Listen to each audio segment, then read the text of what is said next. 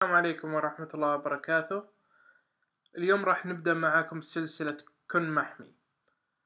كن محمي بمعنى كيف إنك تكون محمي بأقل متطلبات ممكنة إن تضمن خلالها ان جهازك يكون محمي.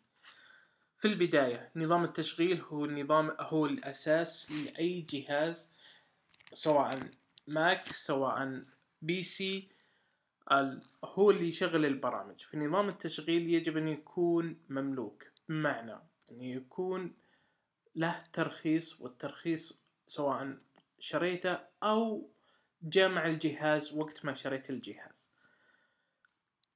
أي نظام تشغيل له تحديث. الشركة المنتجة سواء عندنا Mac Apple أو مايكروسوفت اللي هو Windows آه، نظام تشغيل Windows أو عندنا Linux جميعها لها تحديثات. التحديثات ليست مجرد عبث إنما التحديثات الشركة تنتجها في الأغلب إضافة ميزات جديدة لنظام التشغيل وأيضا إغلاق ثغرات موجودة في النظام.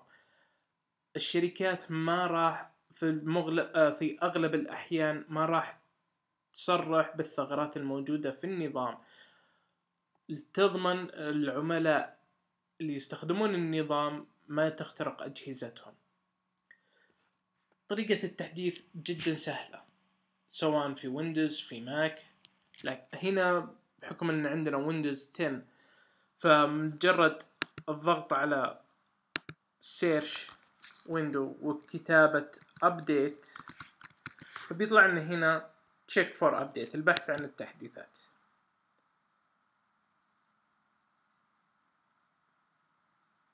طبعا هنا مطلعنا إن في تحديثات وبحكم الاتصال عندي ضعيف فطالع error لكن بيطلع لك هنا التحديثات وبيحاول يسوي لها التحديث تحميل لها وبعد كذا التركيب.